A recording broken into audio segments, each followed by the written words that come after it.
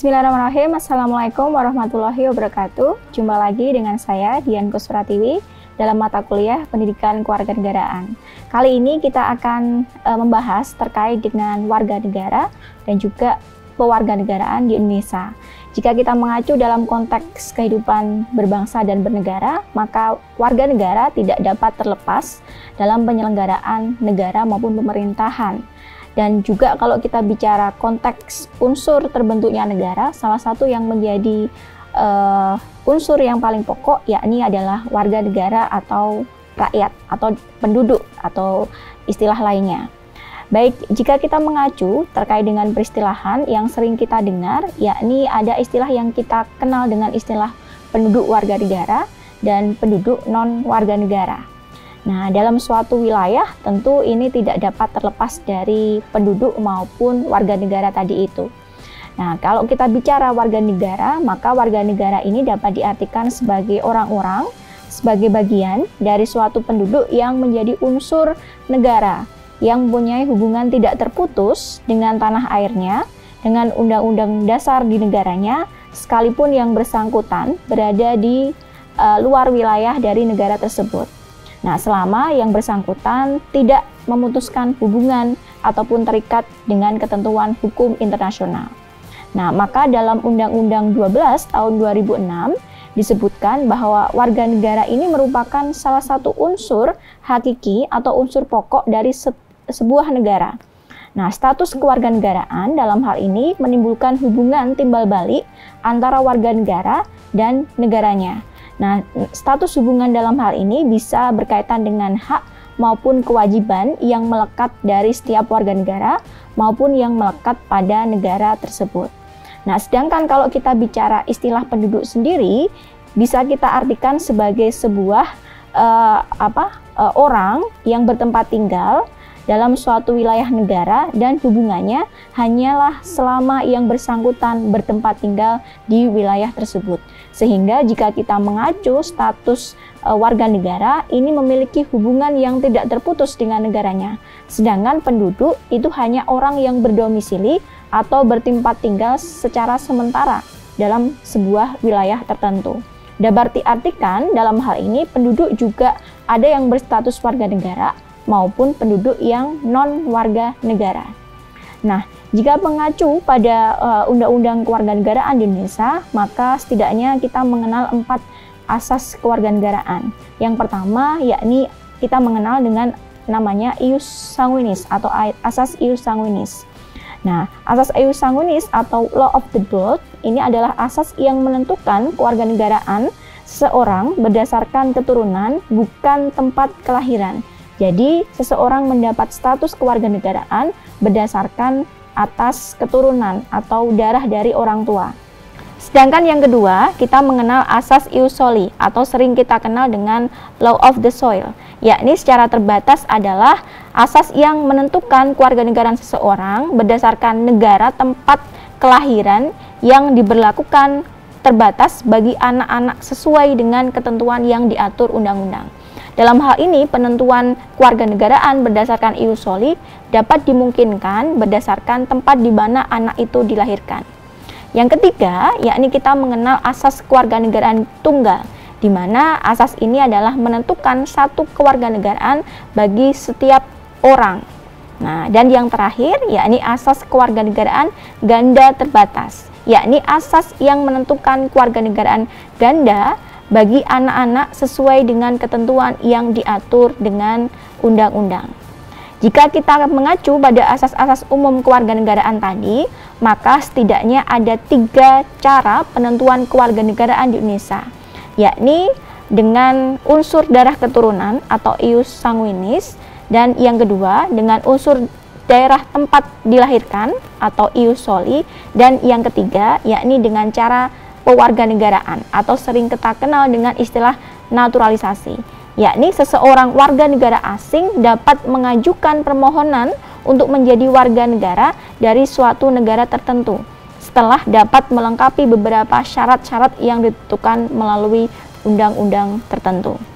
Nah, jika kita mengacu dalam konteks pewarganegaraan di Indonesia, maka dalam Undang-Undang tahun 2006 tentang kewarganegaraan, dalam pasal 4 disebutkan warga negara Indonesia adalah setiap orang yang berdasarkan peraturan perundang-undangan dan atau berdasarkan perjanjian pemerintah Republik Indonesia dengan negara lain sebelum undang-undang ini berlaku sudah menjadi warga negara Indonesia.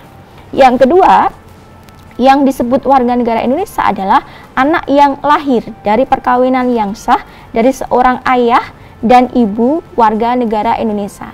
Selain itu, dalam pasal 4 disebutkan bahwa anak yang dilahirkan dari perkawinan campuran antara ayah seorang WNA ataupun ibu seorang WNI dan ayah seorang WNI maupun ibu seorang WNA itu juga mendapatkan akses kewarganegaraan Indonesia.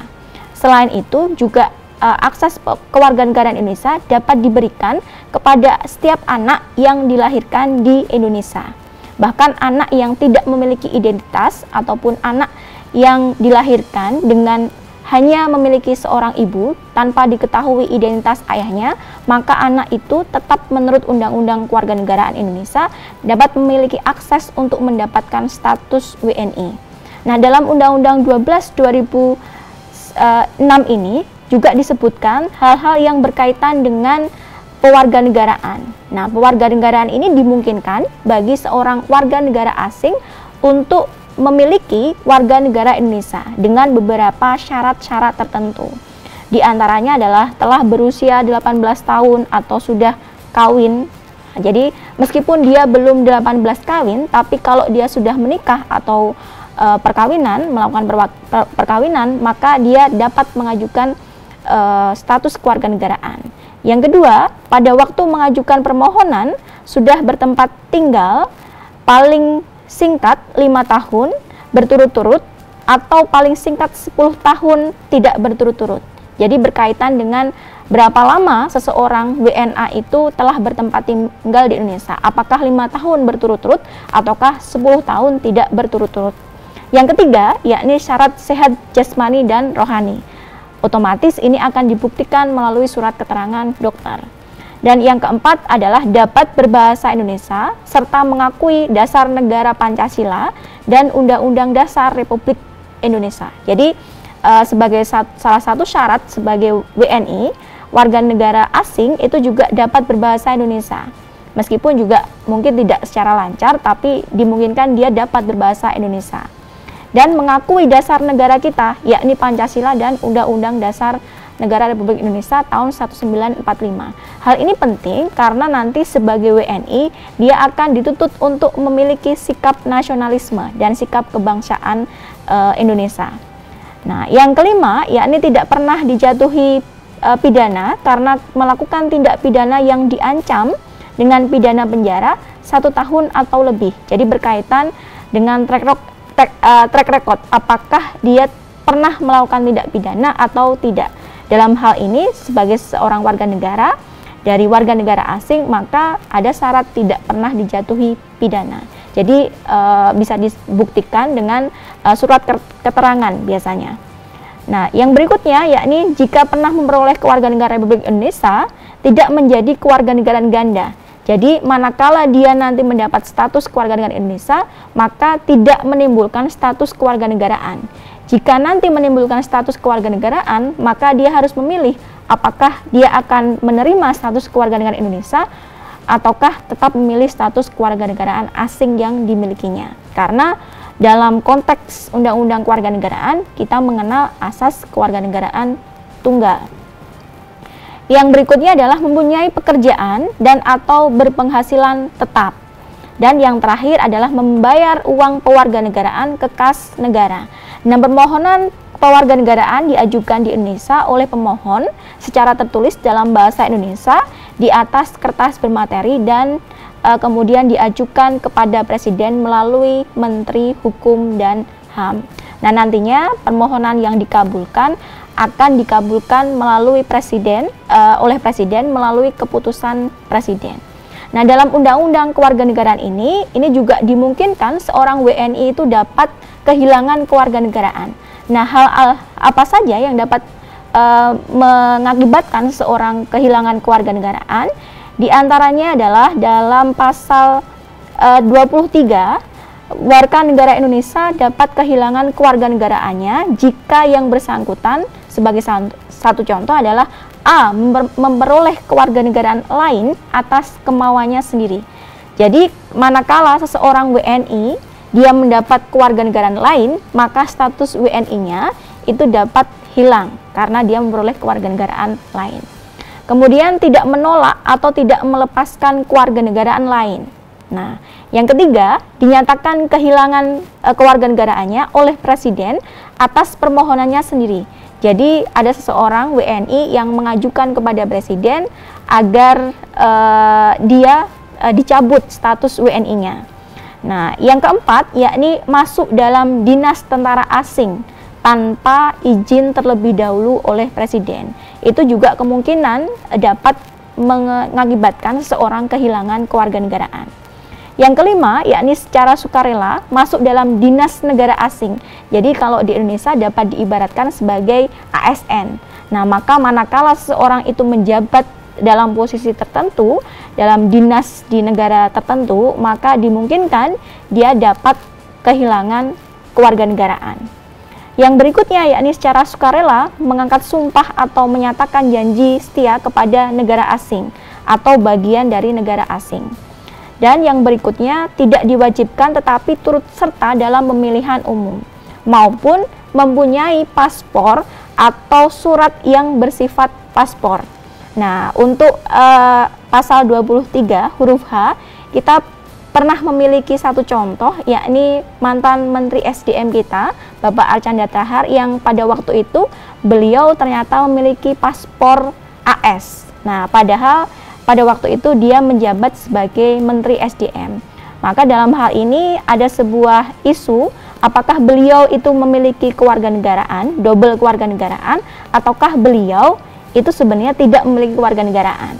Jika ditinjau dari huruf H ini, maka manakala seorang mendapat paspor atau memiliki paspor asing, maka status kewarganegaraannya itu menjadi hilang. Sehingga manakala dia kembali ke jabatan e, di Indonesia, yakni sebagai Menteri SDM, dapat dikatakan sebenarnya beliau itu tidak memiliki kewarganegaraan. Oleh karenanya, pada waktu itu kemudian Presiden mem memberikan status kewarganegaraan kepada uh, Bapak Archandra Tahar selaku Menteri SDM, mantan Menteri ESDM pada waktu itu. Nah, yang berikutnya yakni bertempat tinggal di luar wilayah negara Republik Indonesia selama lima tahun berturut-turut, bukan dalam rangka dinas asing. Nah, tanpa alasan yang sah, dengan sengaja dan tidak menyatakan keinginannya untuk e, menjadi WNI, itu juga dapat menjadi e, satu hal yang mengakibatkan seorang kehilangan kewarganegaraan. Nah, berkaitan dengan status kewarganegaraan atau pewarganegaraan ini, e, kemudian muncul implikasi adanya hubungan hak dan kewajiban, yakni antara warga negara dan negara. Dalam hal ini, negara memiliki hak-hak konstitusional yang dijamin oleh Undang-Undang Dasar 1945 dan Undang-Undang yang kemudian e, negara berkewajiban untuk memenuhi perlindungan hak terhadap warga negara tersebut. Akan tetapi, warga negara juga memiliki kewajiban untuk melaksanakan segala kebijakan-kebijakan ataupun aturan-aturan yang dibuat oleh pemerintah Indonesia. Sehingga dalam hal ini antara negara maupun warga negara memiliki hubungan yang tidak terputus terkait dengan hak dan kewajiban di antara keduanya. Sekian materi dari saya berkaitan dengan warga negara dan status kewarganegaraan. Jumpa lagi dengan Budian di materi berikutnya. Wassalamualaikum warahmatullahi wabarakatuh.